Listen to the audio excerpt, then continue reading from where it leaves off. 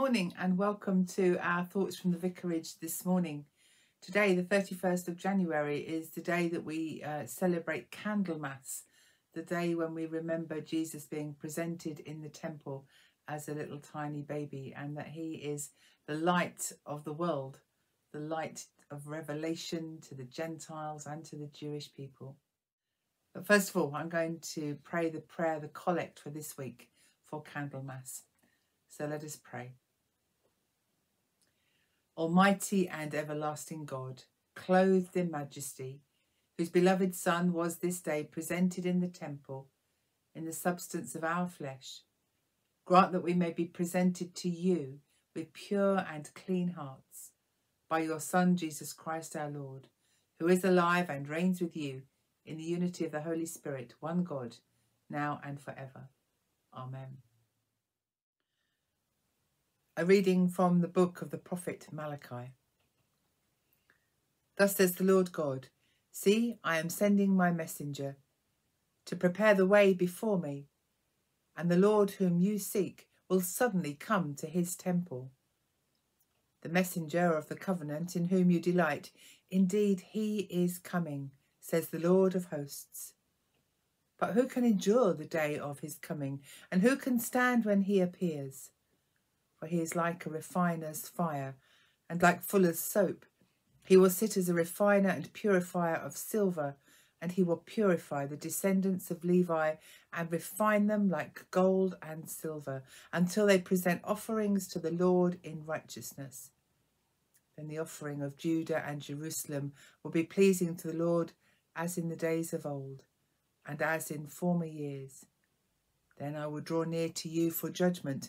I will be swift to bear witness against the sorcerers, against the adulterers, against those who swear falsely, against those who oppress hired workers in their wages, the widow and the orphan, against those who thrust aside the alien, and do not fear me, says the Lord of hosts. This is the word of the Lord.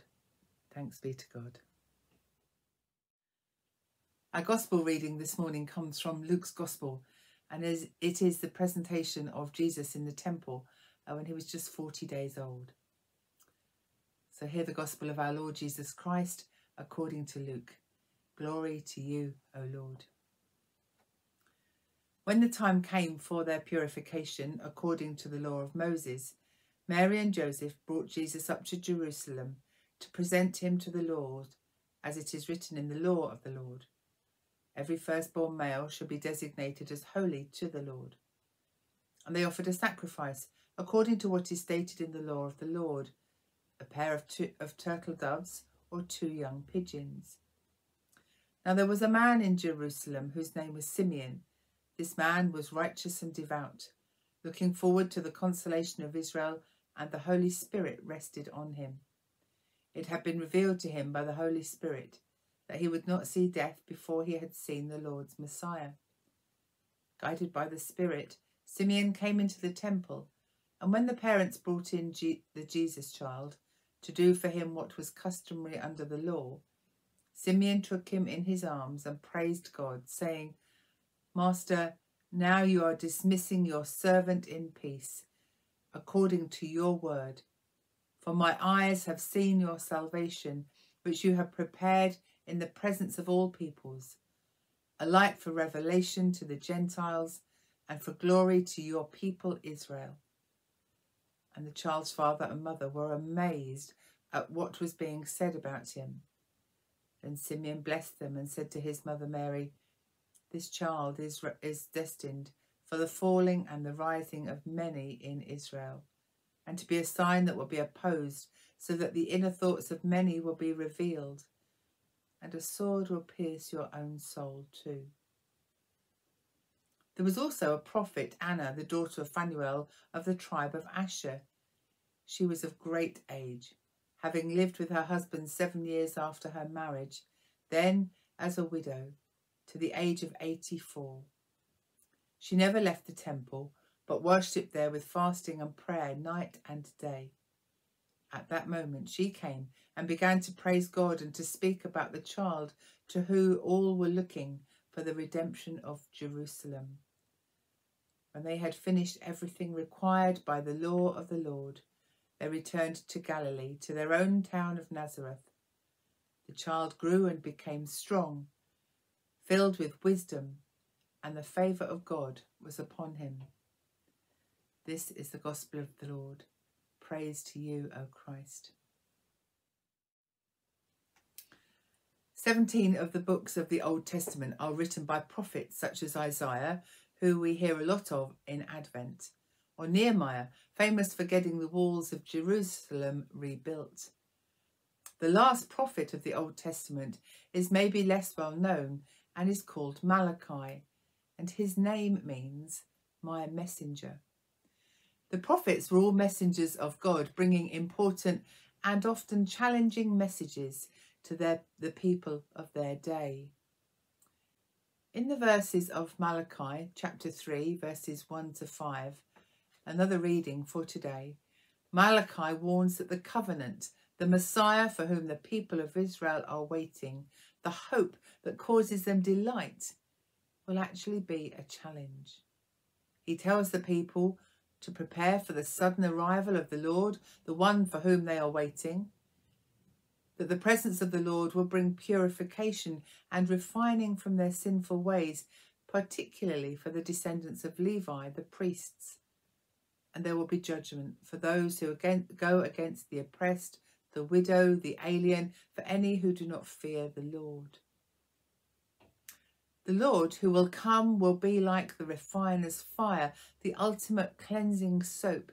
He is holy, and so who can stand in his presence?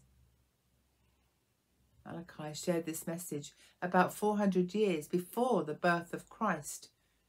There's a 400 year gap between the last prophecies of the Old Testament and the start of the New Testament. And yet Malachi said that the Lord, who the people sought, would suddenly come to the temple. The book of Malachi is the end of the Old Testament, and the New Testament starts with the life of Jesus, recorded in the four Gospels, including Luke. In our Gospel reading today, Luke tells the story of Jesus being presented in the temple as a baby. Jesus would have been 40 days old when Simeon and Anna saw him in the temple. We know this because the Jewish law stated that the mother of a male child had to go to the temple for purification when the baby was 40 days old. It was longer if it was a girl baby. You can read about it in Leviticus chapter 12. In order for the mother to be declared clean after childbirth, an offering of a lamb and a pigeon, or for people who couldn't afford that, a pair of pigeons or a pair of doves, doves was made. This would also have been the time for the dedication of the firstborn son to God. You can read about that in Exodus chapter 13. One of the baby boys, once the baby boys had been dedicated to God, then the parents could redeem them for five shekels.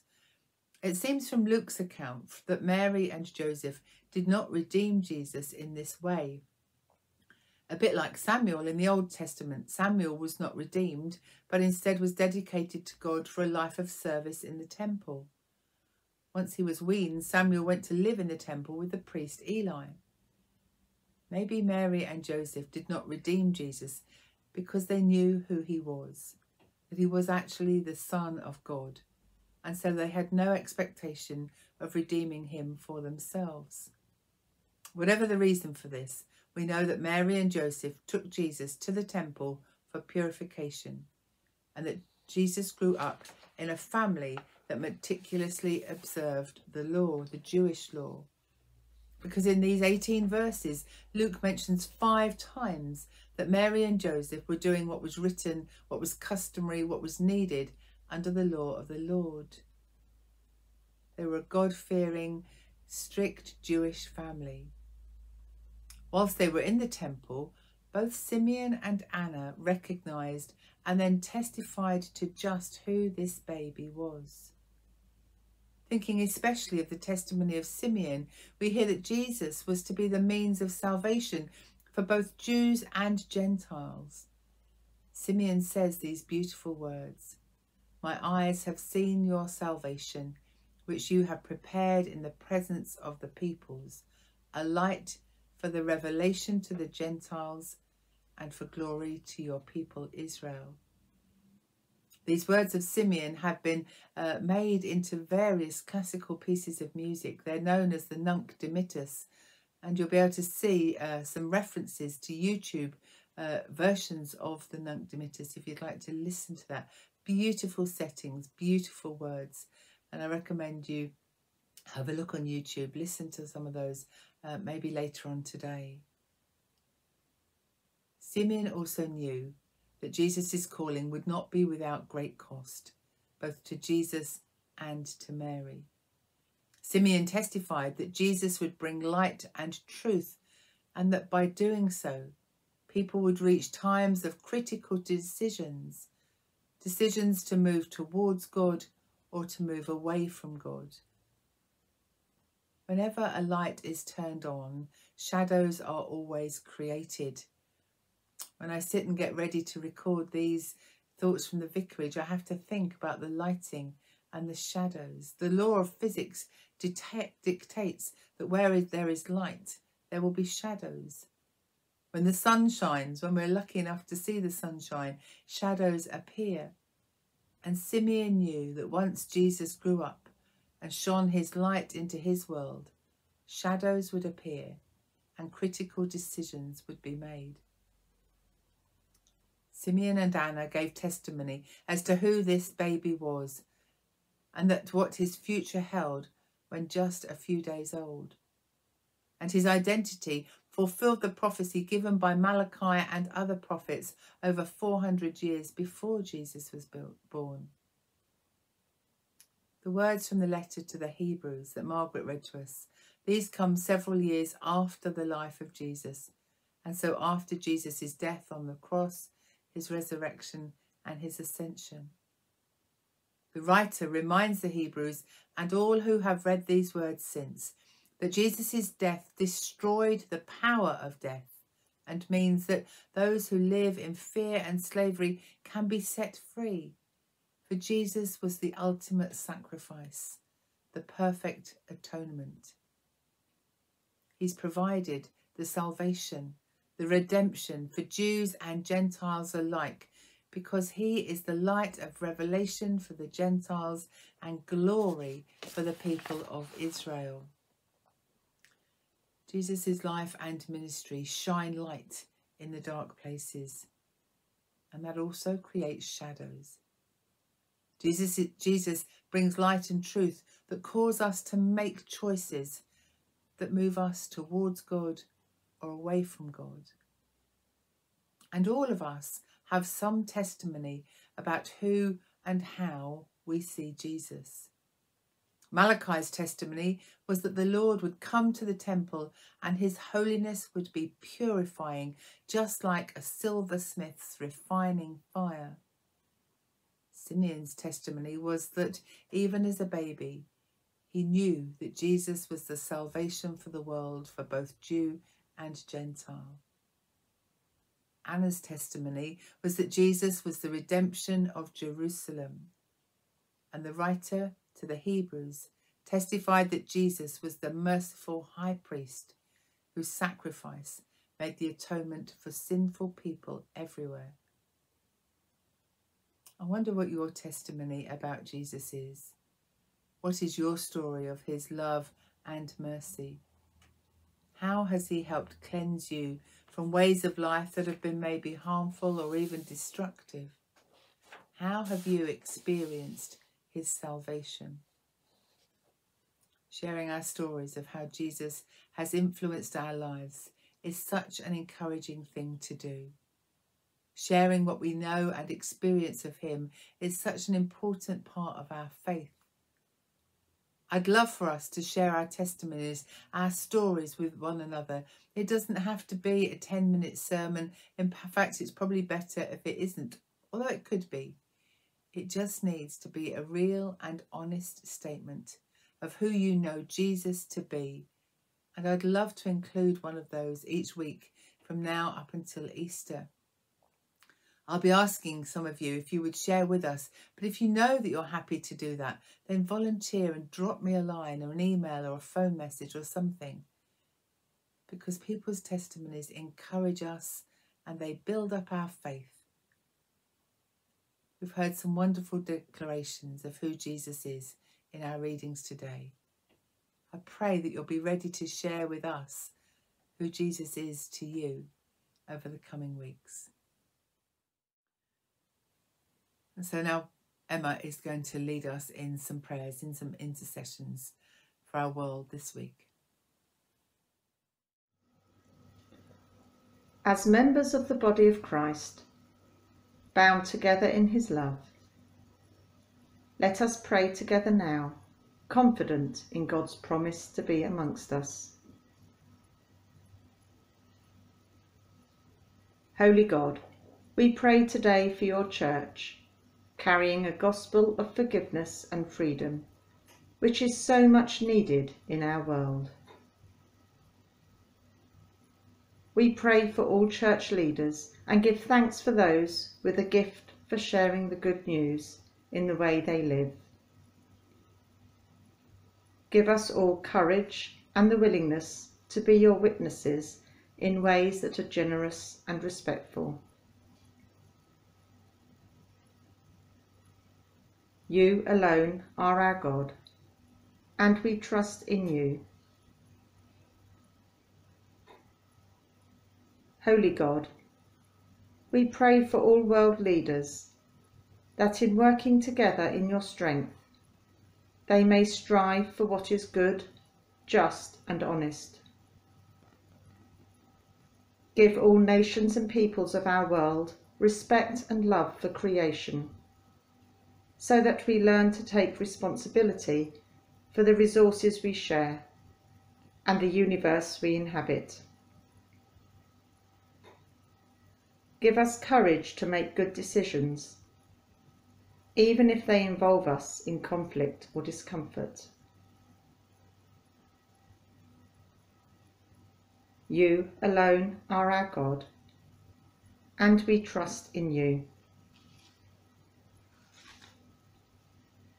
Holy God, we pray for our families and our friends, that we may be transformed and renewed through the richness of your presence.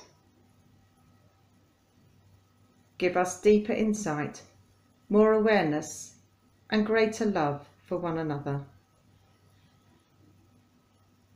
You alone are our God, and we trust in you.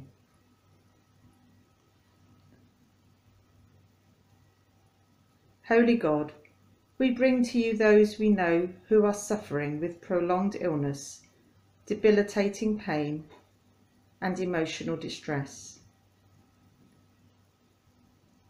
Lay your hands on them to bring relief and healing, courage to live through this dark time, and the inner strength which only you can give. You alone are our God, and we trust in you. Holy God, we pray for those making the journey through death, and for those who have died to this earthly life. Thank you for all they have given us.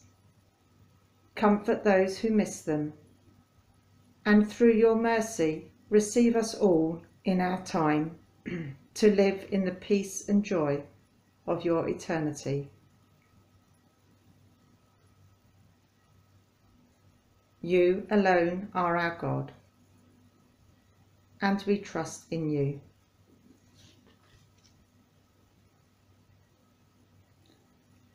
Holy God, we thank you for making yourself known to us in the many blessings of life and most of all in the person of Jesus the Christ. Merciful Father, accept these prayers for the sake of your Son, our Saviour, Jesus Christ. Amen. Thank you, Emma. Take care. Have a good rest of the day. Look after yourselves. God bless. Thank you.